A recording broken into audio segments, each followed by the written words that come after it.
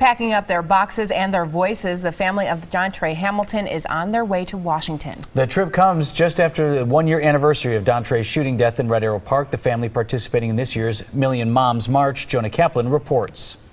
This is the shirt the group will wear this weekend in Washington. It says Justice for Don Dontre Hamilton. Obviously, all the supporters want to make this one of the central uniting causes.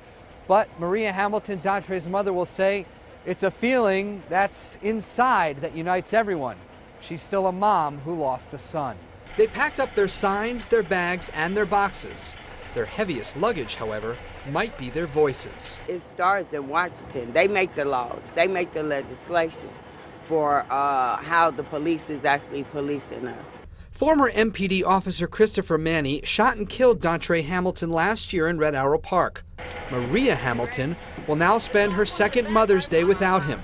She's headed to D.C. to join other grieving mothers. These are young men that at some point could have been leaders in the United States, and they don't have that option anymore because their lives were stolen. The first Million Moms March took place 15 years ago with a focus on gun control. Hamilton says this march is about more than gun control.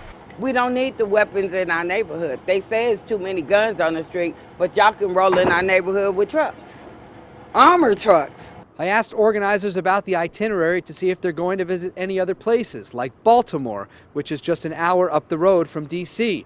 They said no, but they expect a lot of people from Baltimore to join them in their march this weekend. In Milwaukee, Jonah Kaplan, today's TMJ4.